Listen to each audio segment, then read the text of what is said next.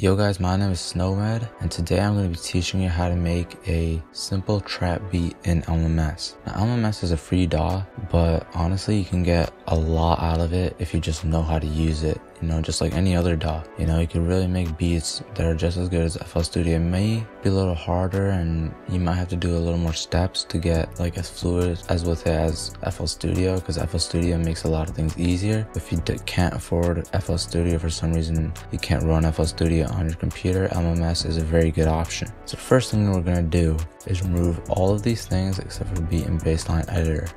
Now, we don't even need any of this. We're just gonna go straight into the beat and bassline editor.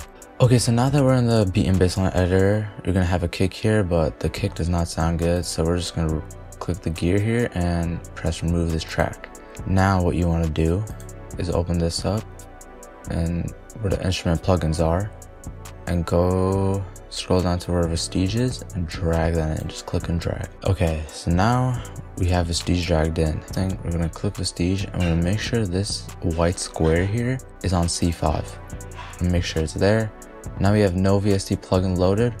We're gonna click that folder and we're gonna have all our VSTs here. Now these VSTs are the ones that I have specifically downloaded. So if you want me to make a video on how to like create a folder like this, let me know in the comments below and leave a like. But basically once you download your VSTs that you like, and all these are free by the way too, but basically once you download all your VSTs that you like, you basically just choose one here. So I'm gonna choose synth 1 Okay, so now that you have synth one loaded up, I'm gonna actually click out of here, right click this, and go to open piano roll. Now that I'm in piano roll, I'm gonna choose a key. It doesn't even matter what key it is. You know, I'm just gonna choose a random key, but this will just make sure that our beat sounds good and it really makes it much easier to figure out a melody. So if you struggle with making chord progressions and melodies, choosing a key and doing scale highlighting will make it much easier. I'm just gonna click E I'm gonna make it Aeolian. So now, as you can see, we have all of these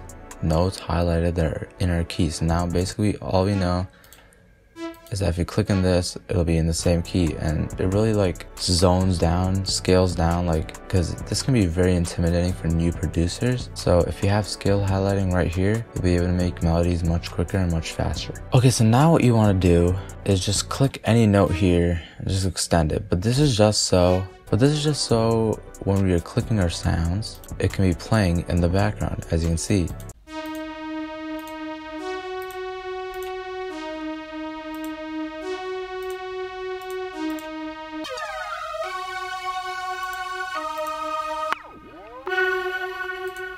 So as you can see, whilst we are choosing our sounds, we won't have to like click on this piano to hear the sound. You can just hear it playing in the background. It makes it much, much quicker to just find a sound that you enjoy. So basically, I'm just gonna find like a simple sound, a little chord sound, and I'll be back once I find that. Okay, so I basically found the sound. It's a simple little chord sound, I'll let you hear it. Okay, so that's like the chord sound that I chose and now I'm just gonna create a very very simple chord progression since this is a simple tutorial. So since this is a beginner's tutorial, I won't go like super crazy with like the chord progressions, not that I do anyway, but I just won't go like too difficult. But basically the rule of thumb for creating a trap beat, because we have the scale highlighting, it makes it very very easy and all we have to do to make it sound nice is skip one of these highlighted notes. So if we go from here to here, and then we skip this one, and then we go here. And this chord will always sound nice, as you can hear. It won't sound bad, it won't sound too clunky or too trash. It'll always sound good. So whenever you're making chords, just skip one of these and it'll sound good. And you can always keep adding them on, adding them on, and removing even like this one and it'll still sound decent. So the rule of thumb is just skip one of these notes and you should be good. So now I'm gonna create my chord progression and I'll be back once I'm done with that. Okay, so I finished the chord progression now and I'll let you guys hear it.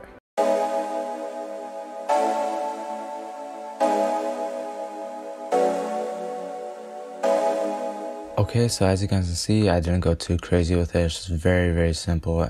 I'm pretty sure anyone can do this once you figure out the skipping the, the line rule. So now that we're done with the chord progressions, we're gonna move on and I like to do the top melody like last after we're done with all the drums. So I'm just gonna move on to making the drums. So I have a folder right here where we go all the way to my home and then music. And I basically created a folder where I have all my drum kits. Once again, if you want me to make a video on it, on how to make like a folder where all your sounds and all your drum kits are, leave a comment, leave a like, and I will do that. Basically, these are all drum kits I've downloaded for free online, all on Reddit. My friend gave some to me. That's all it really is. So we have all this. So now I'm just gonna choose some sounds. And the first sound that I like to go with is a clap. So I'm just going to this KBZ kit, shout out KBZ, and I'm gonna choose clap that I like. I like this text clap because it's nice and rich. So we're gonna go here. So we drag that in, but as you can see, these are like really wide. It's almost like like a trash TV kind of way. Basically, this is gonna be this is just one bar. And as you can see,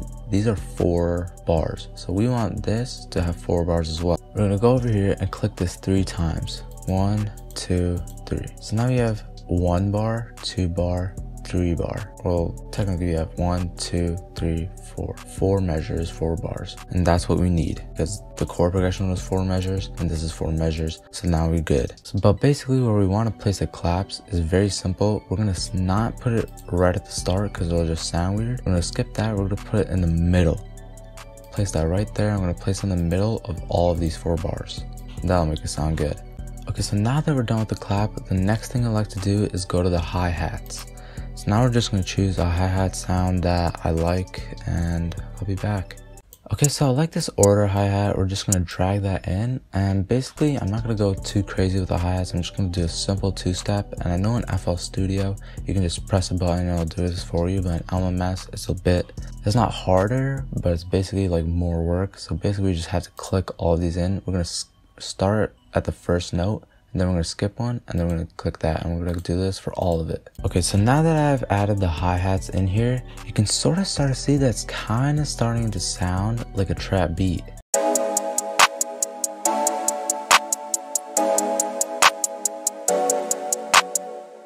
Now of course we're not nowhere near done.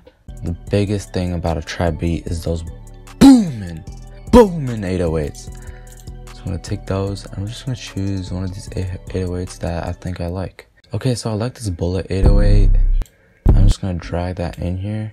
And the 808s is a little different because the 808s sometimes make it very crunchy and make a beat sound trash if you don't do anything to them. So I'm gonna click this thing right here. Basically, once again, we want this square, white square to be on C5 so our 808s are in tune. So now we're gonna go over all the way over here to this graph line thing click this, turn the amount up all the way, and then turn the attack up just a little. This is because when you click in the 808s, there's usually like a little bit of a clicking sound at the start, which you want to get rid of, and this will get rid of that crunchiness. Now that we have that, oh, there's just one more thing. So we're gonna go over here to FX, add effect, and press EQ, and click this equalizer right here. Okay, so now that we have the equalizer open, Basically, we're gonna take this one knob, drag this all the way to around 73, 74. And usually this is like the baseline for like making sure that your 808s don't like sound so crunchy and what is it? Like a staticky with your melody. Cause if we haven't done this, our whole beat would just sound so mushed in and crunchy and trash. If you do this, trust me, on most headphones, it'll sound good.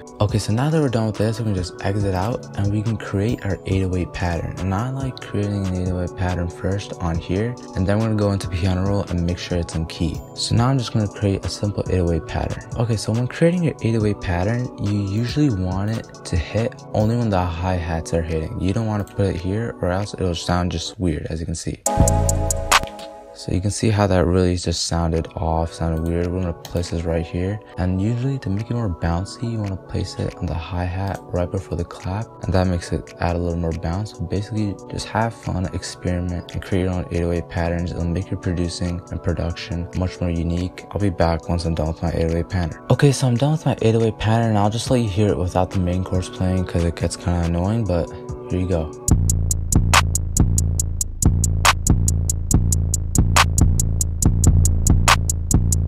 As you guys can see, it may sound good now, and it does sound good even with this. Now what we're gonna do is make sure that our 808s are in key, and this will, trust me, this will make your 808s much more better, and if you're sending your beats out to an artist, they'll take you a lot more seriously if your 808s actually are in key. Okay, so what we're gonna do is go all the way back to our synth, open a piano roll, control shift, and drag all of these bottom notes. After you drag all of them and they're all highlighted, we're gonna press control C and just copy them. I'm gonna exit out of this, go into our 808, open in piano roll, and press control V. So now we have all the notes where we remember this is where we want our 808s to hit. So basically what we're going to do is, as you can see this is in B4, I'm going to take this, drag it to where our 808 hits. So our 808 hits here and ends here. And this is where another one hits. So we're going to add another one here. As you can see it ends perfectly ironically there. So now we're just going to add this one. I'm going to drag this all the way over to here. But now as you can see, this 808 hits over here is a C. So we're going to drag this all the way over here and drag it so it fits. And basically, we're going to do this for all of it and I'll be back once I do it for all of them. Okay, so now that we have all our 808s dragged into that pattern, we can delete all of these 808s that we had in before because obviously we don't want two 808s hitting at the same time. I'm gonna drag this back here because this is where it was before. But basically this is our 808 pattern and honestly we're done with the 808s at this point. You can mess with the velocities if you want them to hit really loud or something or make it like very subtle and quiet. I'm just gonna leave it here because you know it's a simple beginner's tutorial. So I'm just gonna leave that there. And now I usually add some hi-hat rolls or hi-hat stuff, but I don't wanna go too crazy. You guys can figure that out on your own. And if you want me to make a more advanced tutorial, just let me know in the comments. I'm just gonna keep this beat very, very bare bones, very, very simple. So now what we're gonna do is add a little bit of a top melody because the top melody will make sure that your beat doesn't get too stagnant over time, you know, because you don't want your beat to just be this over and over and over. You sort of want something like change it up a little. So what we're gonna do is go back to our instrument plugins, go back to Vestige, drag that in there, go into open piano roll, obviously click your note in wherever you want it to be, and we're gonna look for another sound that goes well with the synth sound. So I'll be back once I find a good synth sound. And also once again, we want this white square to be on C5. So I found the sound I want to use for my top melody and here I'll let you guys hear it. So yeah, basically that's gonna be my sound for the top melody. So we're gonna go in here and we're gonna open piano. Obviously we have it open. And now we're just gonna create a top melody. Usually you wanna go like our chords are in this area.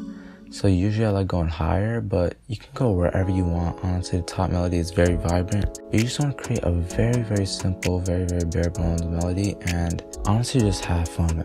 Creating melodies honestly can never be taught unless you're like want to go super deep into like piano theory and like music theory and all that stuff. Everything is done by ear. All these top producers, Metro Boomin, Pi'erre Bourne, they just go off by whatever they think sounds good. So you don't really want to do a bunch of like, oh, a G sharp, A sharp, whatever. You don't really need all that. Just go off whatever you think sounds good and you should be good. So I'm just going to create a very simple top melody, something anyone can do. And if you're copying this video along, you should be able to do it very easily as well. So I'm just going to be back once I create a very simple top melody. Okay, so I'm basically done with my top melody and I'll let you guys hear it.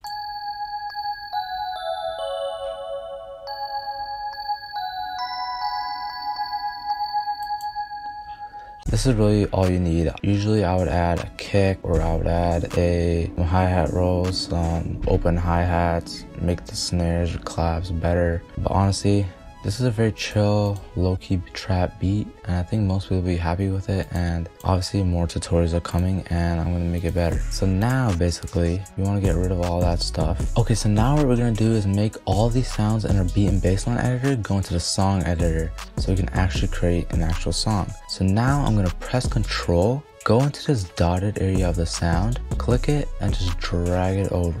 I'm gonna do this for all of these.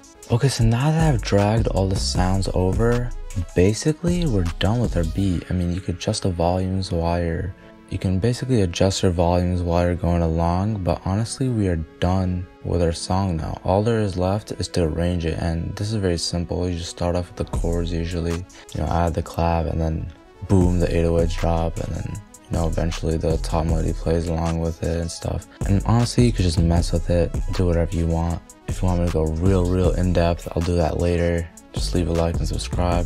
But honestly, I'm just gonna arrange this beat right now and I'll let you guys hear at the end. And this is gonna be it for me today. So thank you for watching and like and subscribe if this helps and comment if you guys have any questions. I'm gonna make sure to answer as much of them as possible. But yeah, have a good day guys.